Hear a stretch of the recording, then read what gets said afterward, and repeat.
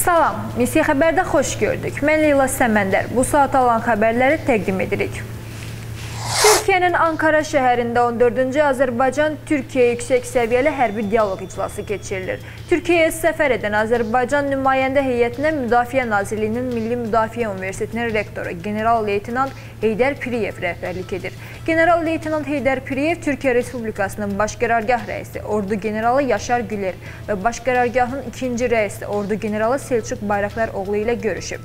Görüşlər zamanı ölkələrimiz arasında hərbi, hərbi texniki, hərbi təhsil və digər sahələrdə əməkdaşlığın inkişaf perspektivləri, eləcə də qarşılıqlı maraq doğuran mövzulara dair ətraflı fikir mübadiləsi aparılıb. Azərbaycan və Türkiyə arasında sərhəd buraxılış məntəqələrində nəqliyyat vasitələrinin sürətli keçidi təmin olunacaq. Bu barədə Dövlət Gömrük Komitəsi sədrinin müavini Bəhruz Quliyev və Türkiyənin Dilucu Gömrük Müdürlüyünün müdir vəkili Erdan Esinin rəhbərlik etdikləri nümayəndə heyətlərinin iştirakı ilə keçirilən görüşdə bildirilib.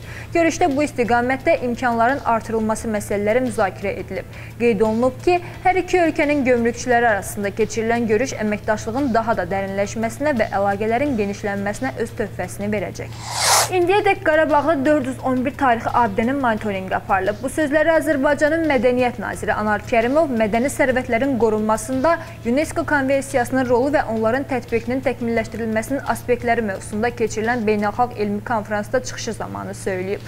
Nazir bildirib ki, azad olunan ərazilərdə monitorinqlər zamanı bəzi abidələrin qəsdən dağıdıldığı, mənimsənildiyi, abidələrdən hərbi məqsədlər üçün istifadə edildiyi aşkarlanıb. Ermənistan bununla Qarabağda qeyri-qanuni cinayət əməlləri törədib. Bu abidələrdən 178-i yeni aşkar olunub. Həmçinin işğaldan azad olunmuş ərazilərdəki 864 mədəni müəssisəsinin də monitorinqi aparılıb deyə nazir vurğulayıb. ABŞ-ın Time jurnalı İranlı qadınları 2022-ci ilin qəhrəmanları elan edib. İrandakı etiraz hərəkatını yüksək qiymətləndirən jurnal İranlı qadınların azadlıq və dünyəvilik hərəkatının dünyada nümunəvi olduğunu yazıb. Jurnal ha belə qeyd edib ki, bugün İranda baş verənlər keçmişdən fərqlidir. Ona görə ki, indi dəyişiklik istəyən bütün insanların arzusu kütləviləşib və qadınların ucalan səsləri ilə təzahür edib.